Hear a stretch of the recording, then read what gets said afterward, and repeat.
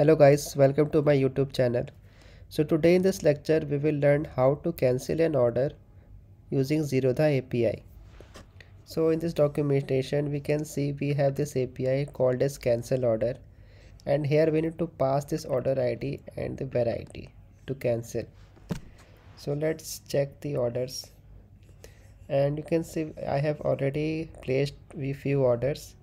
And if you want to cancel them we can directly cancel from here by clicking this cancel or we can cancel from the API for that we need to have the order. We have to have the order ID so we will go to this info part and we'll get the order ID from here. And let's go to the implementation part. So for that we need to call the cancel order API and the order id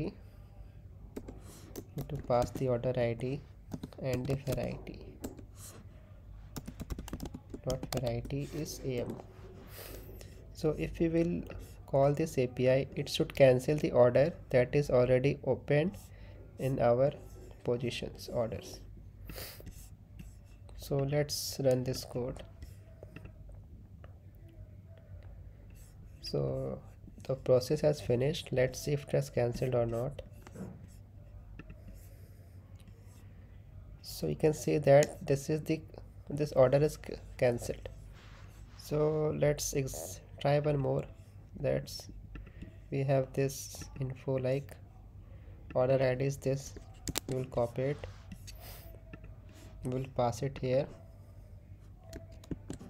And what is the variety also it is a varieties AMO so let's run it.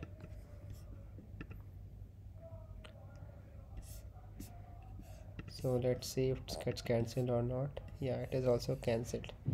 So it is very easy to cancel an order. You just need to pass the order id so that's it. So like if you have learned from me like if you have learned kite how to use kite how to place orders and if it's really helpful to you please like it and subscribe to my channel. And also do share this video to all of your friends so that it can be helpful to them as well. Thank you